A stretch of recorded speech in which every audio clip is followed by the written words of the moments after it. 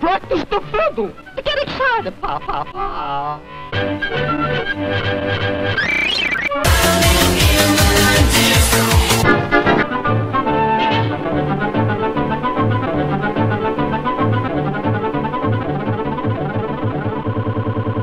Now, if you're wondering who I might be, Skip it up and that up.